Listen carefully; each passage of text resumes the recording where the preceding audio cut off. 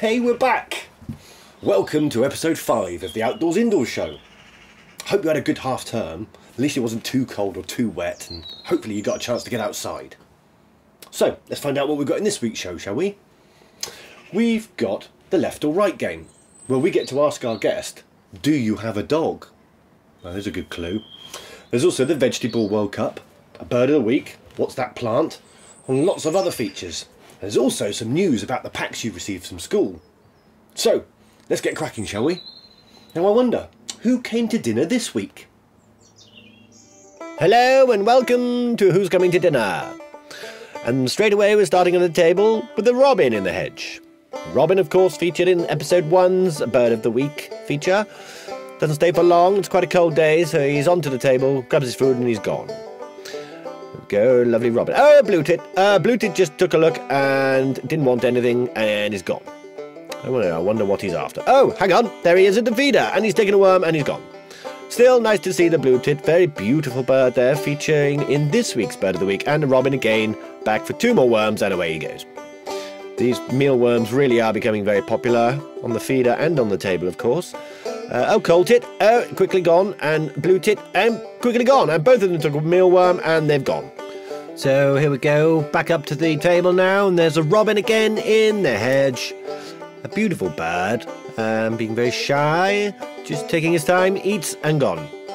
And now we have a house sparrow. There's a house sparrow following the robin, um, taking his time, in, feeds, out. That's it, no mucking about.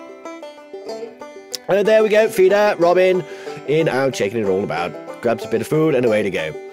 Um, nobody's staying for long. Like I say, it's very cold out there at the moment, as you're all aware. House sparrow, another house sparrow. They didn't even eat. Oh, two more, and they're all eating now. Oh, hang on. And out of nowhere, loads of house sparrows. Featured, of course, in episode two's Bird of the Week. And they're back up to the table now. Let's see what we're going to have up here. We had Robin earlier. Oh no, it's the grey squirrel again. Anyone who saw last week's episode saw the carnage left behind. I just can't see this. I can't watch this. We're going to go back to the feeder. That's better. Now, what have we got down here? Oh, uh, Robin again. Lovely. Uh, Robin from episode one, and House Sparrow from episode two, of course. Uh, beautiful House Sparrow. The Robin eating the worms, the House Sparrow eating the seeds. And there's still a sparrow there. Oh, no, he's gone. Lovely there. Uh, uh, back to the table again, and the squirrel. Uh, they just don't stop, do they? I mean, this one in particular, look at the size of him. I mean, he's definitely warm. He'll be having a little itch there. Uh, he'll be fine over winter. Of that, there's no doubt. And the way he's eating his way through the suet pellets makes you think he'll probably be alright for next winter, too. Uh, they, oh, hello. Uh, and he's coming for his close-up. Uh, I wonder if he knows the camera's there. Um, he really is showing off, isn't he? Um, you can see the ears there of the grey squirrels are much smaller than the red squirrel, of course, and less fluffy. Uh, now this one really is enjoying those suet pellets. He's treating it like candy. I mean, look at this. It's like he's at the sweet shop. Uh, I do hope he doesn't tell his friends. Um, off you go now, squirrel, please. Those are for the birds. Although we don't mind seeing you in the garden, we really would prefer to feed the birds. And there you go, he's off. Well, goodness, there you go, ladies and gentlemen. That's who came to dinner this week.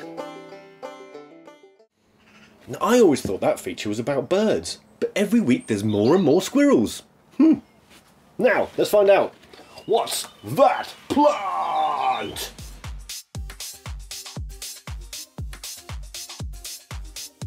Tomatoes. Tomatoes originally came from South and Central America and were first brought to Europe in the mid 1500s. Their original Aztec name means plump thing with a belly button.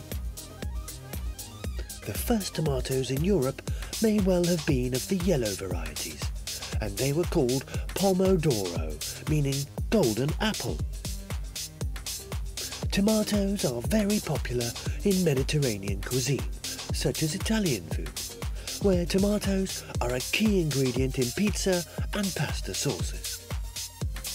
The tomato can be eaten in many different ways, raw like a fruit, processed into ketchup or soup, or even as a juice drink. There are around 10,000 varieties of tomatoes, and although they are considered vegetables by nutritionists, they are in fact fruits. There is no mention of tomatoes in the complete works of Shakespeare, but their seedlings have been grown in space. Tomatoes. Ooh, now it's time for our new and exciting feature. So, this week you've received a pack from school, and inside it is this. And so today, we are proud to launch the Tomato Tournaments! Here we go! The tomato tournaments start here!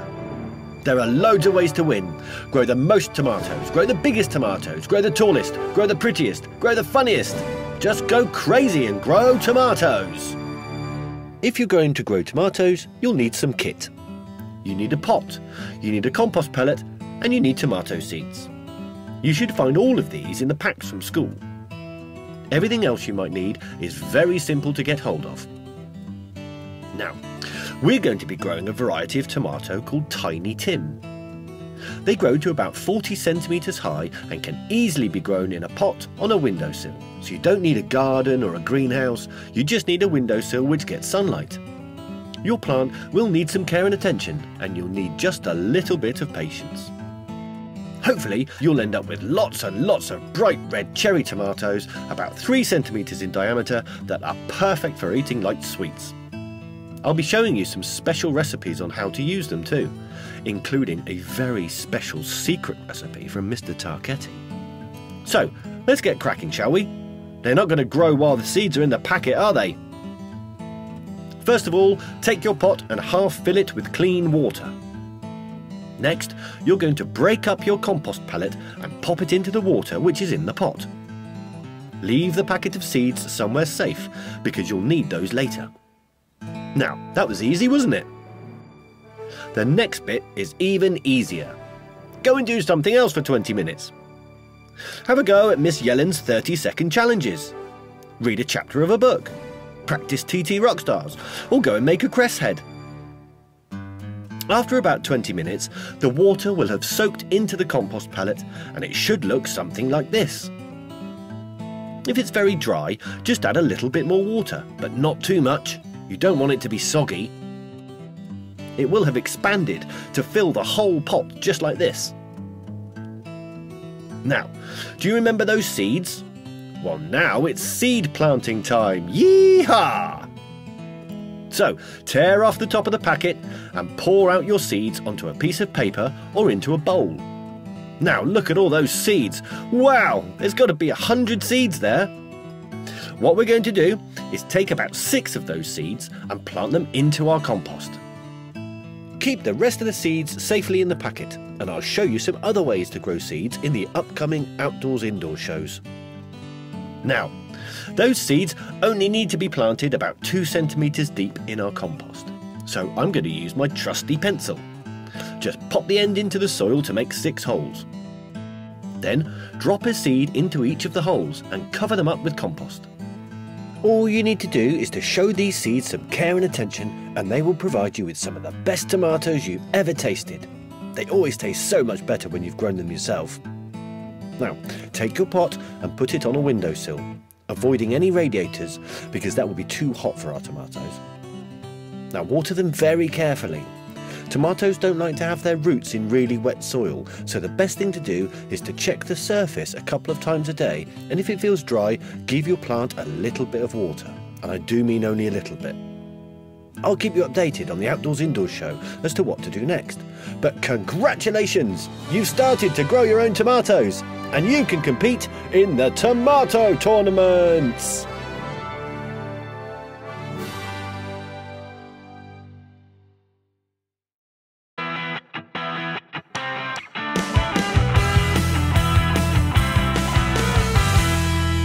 So we're all going to be growing tomatoes now. And over the coming weeks and months, I'll let you know about the different competitions and tournaments you can enter. So get growing! Next, it's Bird of the Week.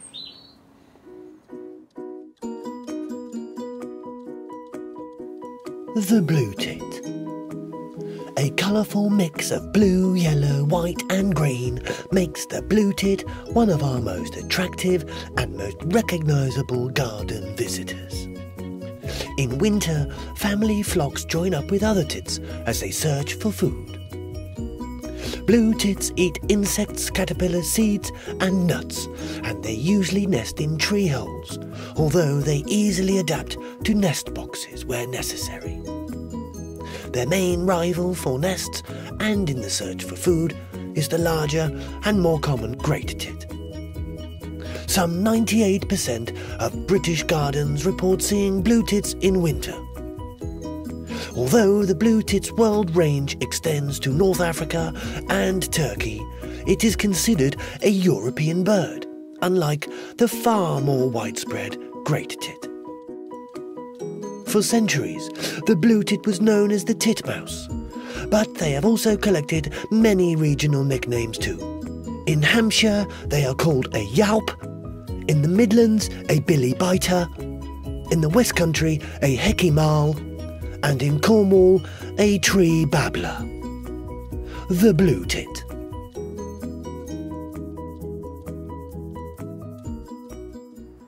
Such a beautiful bird. Now, last week there was an own goal from a broad bean, there was a disallowed goal from a red kidney bean, and a last minute winner from the refried bean. Whatever next? It's the Vegetable World Cup. Hello and welcome, ladies and gentlemen, to the third match from the 2021 Vegetable World Cup. And it's a repeat of last year's incredible semi final. On that occasion, Onions ran out winners with a dramatic last minute penalty. So tonight we've got two of the best strikers in the game, Onion Rings and Mushy Peas, and two of the best defenders in the world, Spring Onions and Frozen Peas. It's the match we've all been waiting for. Two teams who really don't like each other. It's Peas against Onions with Jeff and Terry. Uh, sorry, Jeff, but Terry had to go home, so it's uh, me, Jeff. Hello there, ladies and gentlemen, and hopefully we'll have another classic match here at the 2021 Vegetable World Cup. With no further ado, the teams are on the pitch. The referee's ready, and we're off. I'm really looking forward to this one, Jeff. Tell me about it, Jeff. These two teams hate each other, especially after last year's semi final, but really they're very similar. They both play 4 4 2, they're both desperate to win. They're peas in the pod. Whoa, my goodness, Jeff! Did you see that? A disgusting tackle there by Spring Onions on Mushy Peas. And he's going to be in trouble here, Jeff. The referee's going for his pocket, and oh, it's a red! Two minutes into the game, and Onions are a vegetable down. I'm not surprised he's been sent off, Jeff. Look at the replay. He's practically juiced the mushy peas. Looks more like soup now. That's a disgrace. Well, there's no point crying over sliced onions. so it's the juicy garden pea that takes the free kick. And it drifts into the box, and there it is! The first goal with a wonderful header from the mushy peas. Clinical, Jeff. 1 0. I think it's going to be a long night for the red onion in goal. So the onions kick off, and straight away the ball's given away. Onion rings really don't look on their game tonight, do they, Jeff? Quite agree, Jeff. I mean, he's got no pace. Just a target man, and that's your lot. Sorry, Jeff, but Charlotte's playing left back. oh, dear me. And the macho peas are off on a run straight up the middle of the pitch and pass into mushy peas for the second goal. And what an assist for the macho peas there. 2 0, and you've got a feel for that red onion in goal. I mean, he had no chance. Where was the defence? Onion just went to sleep then. It's the fans I feel sorry for, Jeff. Some of them had to come a long way tonight, and this is embarrassing. Jeff, all I am saying is if you give Peas a chance, they will score. Very good, Jeff. I like that. Yeah, yeah. Well, it's just before half time, and with the last attack of the half, and an, an absolute beauty from Mushy Peas. And that's a hat trick with one of the best goals I've ever seen. Wow. I've seen a lot of vegetable over the years, Jeff, but I've never seen anything like that. I'm glad Terry had to go home now. So that's 3 0 as we go into the half time break. Goodness me. Wow, ladies and gentlemen, I'm sure you'll all agree that was a superb half of vegetable, and Mushy Peas have certainly set this tournament alight this evening. Back for the second half, Jeff. Well, straight away there's a substitution, and on come the black-eyed peas. Well, Jeff, I got a feeling that tonight's gonna be a good, good night for peas. nice one. Well, they're already 3 0 up, playing against a team missing their most important player. I think we can safely say that peas are through. Yeah, you're absolutely right, especially if, oh my goodness me, the Petit Pois just produced a piece of absolute magic and it's 4 0 to peas. It's over. So it's 4 0 to peas. The onion is showing nothing tonight. The Monster Munch, Transformer Snacks, and Space Raiders have hardly touched a ball, and the Pickled Onion and Onion Gravy have been a huge disappointment in the back. Nothing really happening here, Jeff, is there? I'll pop off and get me fish and chips to celebrate with mushy peas after the game, if you know what I mean. Yes, I do, Jeff. Once again, what a great idea. I'll have a fish cake and medium chips with no salt. Cheers. Well, it looks like this game is slowly fizzling out, Jeff. Onions well and truly beaten, and Peas taking it easy before their next match against one of the big guns in the competition cauliflower or cucumber. 4 0, and I think we're done here. Ta da, Jeff! Uh, excuse me, Jeff, uh, where are you going? There's still 20 minutes left to play. Well, Jeff had just come back with my fish cake and chips, and I want to catch mushy peas while they're still hot, so ta da! Peas are through to the next round. Right, oh, uh, well, that, that looks like that's it, folks. Uh, until next time, when it'll be cauliflower versus cucumber uh, in the 2021 Vegetable World Cup. So it's uh, goodbye from me, Jeff. Goodbye.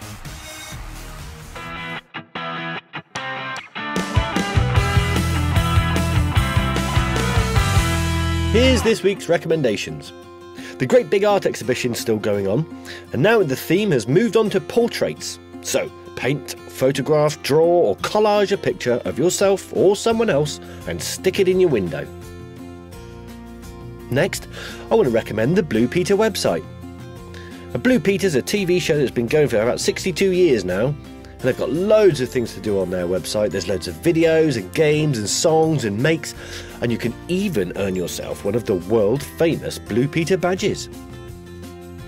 And finally, and the biggest recommendation of all, is you must keep visiting the Winton Primary School website. It's a great place to see what all the staff are up to and what your friends are doing too. There's Mr. Miller's PE shed, Miss Yellen's 30 second challenges, the home learning and assembly sections, and the blog posts. And I especially enjoyed the David Attenborough impression last week.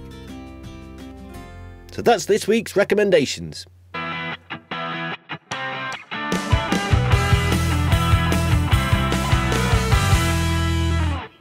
And finally, for this episode of the Outdoors Indoors Show, it's the left or right game, where we get to ask the question Do you have a dog?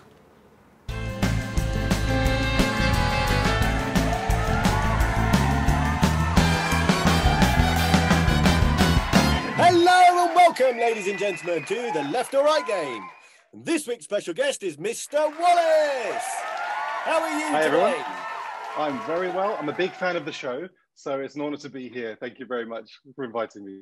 Fantastic. We're going to have a quick look at the rules and then we'll play the game. The rules for the left or right game are as follows. You've got 90 seconds to answer as many questions as you can.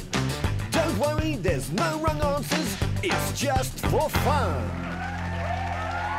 Good luck. So, does that all make sense? It does. Fantastic. In that case, I'm going to put 90 seconds on the clock. Are you ready? Let's do it. Let's play. Left or right? Right. Treble clef or bass clef? Hmm. Bass clef. Waffles or pancakes? Hmm. Pancakes. Toast or cereal? Toast. Wallace or Gromit? Wallace. Do you have a dog? A big fat dog. Do you have a rabbit or a cat? No, no, no. Ariana Grande or Lady Gaga? Oh, definitely Gaga. Burgers or sausages? Burgers. Blue Peter or Horrible Histories? Blue Peter. Fried or scrambled? Hmm. Fried. Air guitar or air drums? Air guitar every day. Very good. Salt or pepper? Salt. Peas or sweet corn? Hmm. Sweet corn. Guess who or Connect Four? Ooh, guess who? Millennium Falcon or Death Star? Oh, that's a tough one. It's got to be Death Star. Darth Vader or Mr. Bean? Darth Vader. Jumping jacks or squats? Uh, squats. Why Can not? you show me, please, Mr. Wallace? Very good. Star Wars, by the way. Baseball cap or beanie? Beanie. Lego movie or Lego Batman? Lego Batman. Brilliant. Monopoly or Cluedo? Oh, and that's your time, Mr. Wallace, I'm afraid. That's your time. It's Monopoly, by the way. Definitely Monopoly. Monopoly, thank you very much. In your 90 seconds, you scored 20 points, which puts you in sixth place. Fantastic. Thank you very much indeed for playing the left or right game, Mr. Wallace. And we'll see who's going to be next time. For now, bye bye.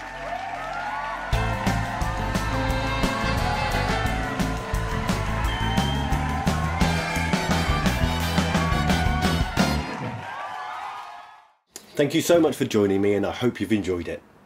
Now, don't forget to keep sending your photos to the Home Learning email address. And also, if you've missed any of the outdoors indoors shows, you can have a look at them on the school website, they're all there.